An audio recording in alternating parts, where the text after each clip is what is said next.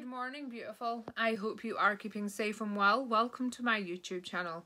For those who I haven't met before, I'm Emma Ryder, psychic medium and divine channeler, and this is the Daily Divine Guidance, bringing you messages from the angels to make the most out of your day. So, what do you need to know today? Let's have a look and see.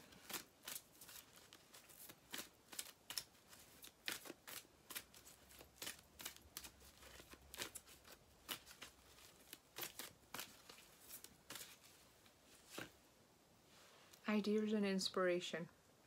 I love that card. Love it. Because when you have space in that busy mind of yours and you have those moments of where did that thought come from?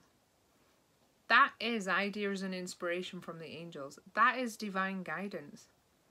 So the more you can make space in that busy head of yours, the more divine guidance you're going to receive and the more progress you're going to make each day.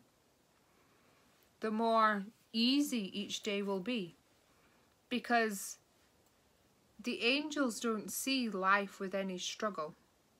But I feel sometimes you're in the mindset in the energy of anything worth having's worth working for. You've got to work hard to have anything blah, blah, blah. Yes, I'm a big believer in hard work, but I also know that you don't have to kill yourself with work. It doesn't have to be blood, sweat and tears to achieve major, major things. So, follow the guidance and allow your days to be much, much easier. Life is meant to be easier. Life is meant to be fun and we've got the music card. So I feel like if you're having those divine messages pop into your mind and you're like, where did that come from? Is that real? Ask for confirmation in music. Ask the angels for confirmation and pay attention to the songs you hear people humming or singing, songs on the radio, on the telly, when you walk into a shop, wherever you hear the song, those songs which really grab your attention will have your confirmation. And it's okay to ask again if you still don't believe. The angels want you to believe in them, so keep asking for confirmation until you truly believe. They will make you laugh out loud with the confirmation they will bring you when you really, really need it. Because now is the divine time to be fully connected with your angels and make each and every single day as easy as possible.